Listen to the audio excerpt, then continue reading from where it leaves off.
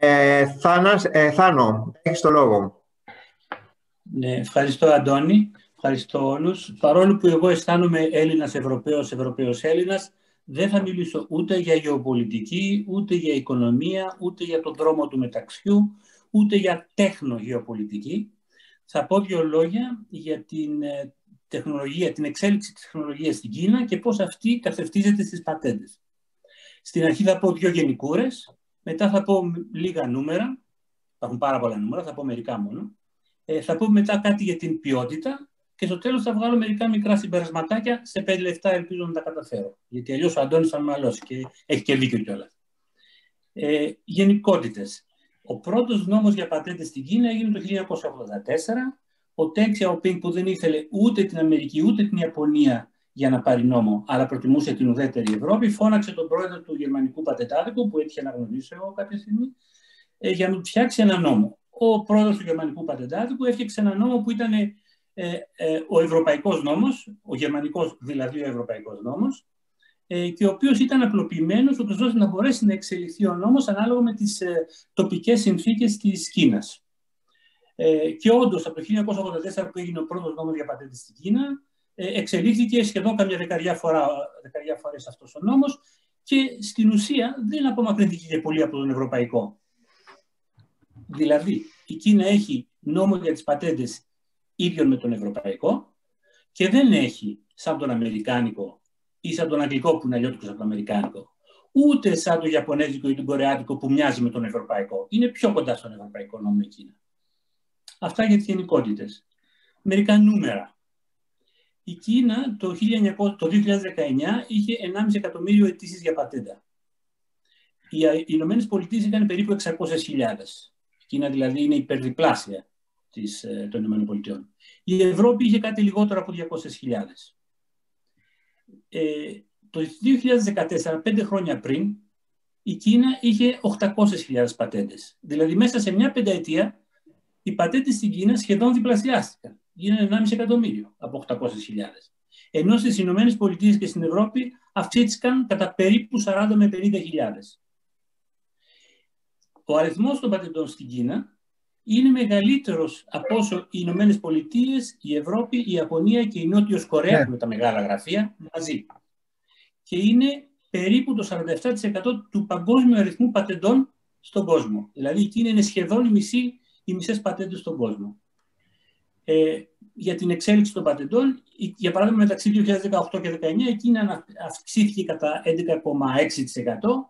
η Ευρώπη κατά 4,7%, η Κορέα κατά 2,3%, η Αμερική και η Ιαπωνία ελαττώθηκαν κατά 1,5% περίπου.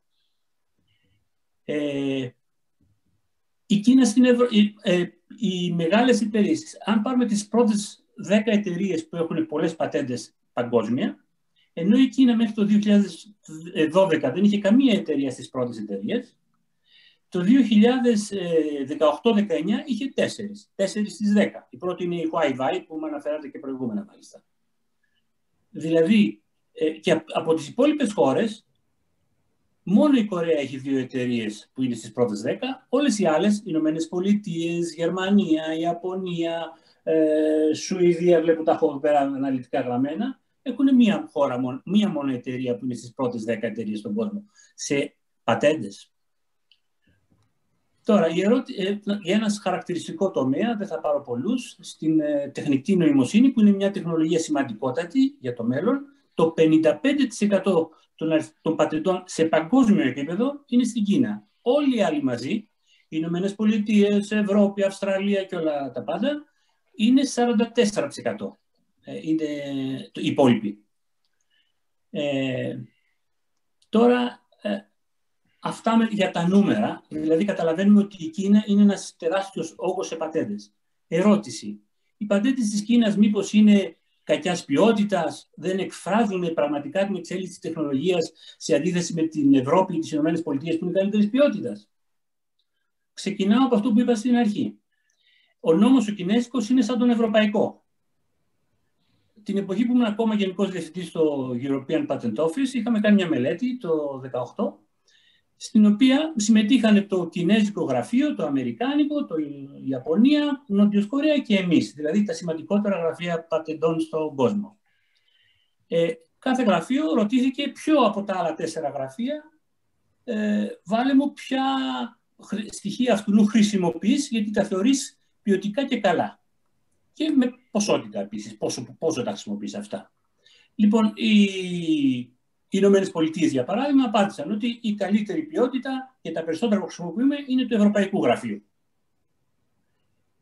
Η Κίνα απάντησε του Ευρωπαϊκού Γραφείου. Η Ιαπωνία του Ευρωπαϊκού Γραφείου. Η Κορέα του Ευρωπαϊκού Γραφείου. Χαρήκαμε εμείς γιατί είμαστε πρώτη ποιότητα. Το ενδιαφέρον είναι ο δεύτερος όμως.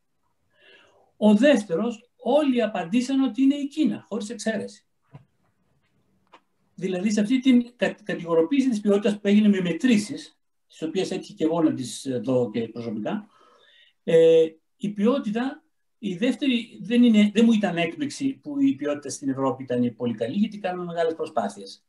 Ε, αλλά μου ήταν έκπληξη ότι δεν ήταν η Ιαπωνία, αλλά ήταν η Κίνα. Και με διαφορούλα λιγάκι. Καλύτερη από την Ιαπωνία.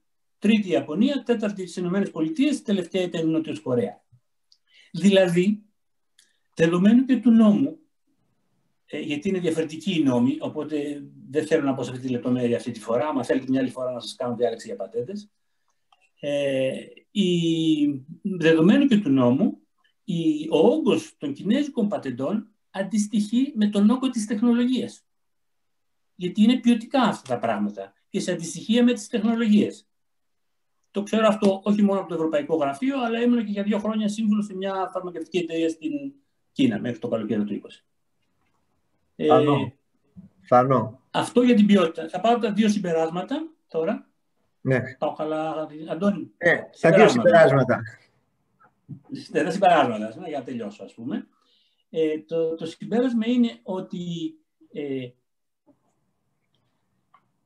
οι ανταγωνιστές στις, στο, στις πατέντες είναι η Ευρώπη με την Κίνα, δεν το αναλύω γιατί δεν έχω χρόνο, και όχι η Αμερική με την Κίνα. Ε, και το συμπέρασμα είναι ότι μας αρέσει η Κίνα για τις τεχνολογικές της εξελίξεις. Καλό είναι να τη χρησιμοποιήσουμε εμείς στην Κίνα γιατί, δεν, ε, γιατί παρόλο που ανήκουμε στη Δύση έχουμε και εμείς τις διαφοροποιήσεις μας και τα συμφέροντά μας. Ε, αυτό που δεν μας αρέσει στην Κίνα είναι το αυταρχικό της καθεστώς, είναι ότι ο Τζακ Μα αυτή τη στιγμή έχει εξαφανιστεί από τον Οκτώβριο, ο πρόεδρος της Αλιμπάμπα, πρώην πρόεδρος της Αλιμπάμπα, γιατί παρατήθηκε, και το σταματάω εκεί.